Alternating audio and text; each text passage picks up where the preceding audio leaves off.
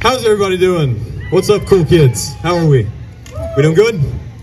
Okay, we're Loud Diversion. By that I mean Trey Hall, Ethan Burgess, and Grant Stalvey. How are you all? Yeah! Nice, nice. All right, so we're here to do some music type stuff. Uh, that was a cover of All Right by Supergrass. And we've got some songs that we've written coming up next, so uh, be sure to cover your ears.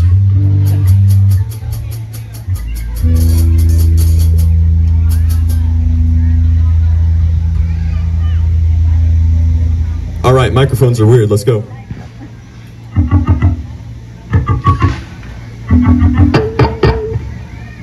This one's one we wrote pretty recently. It's called Why. Here we go.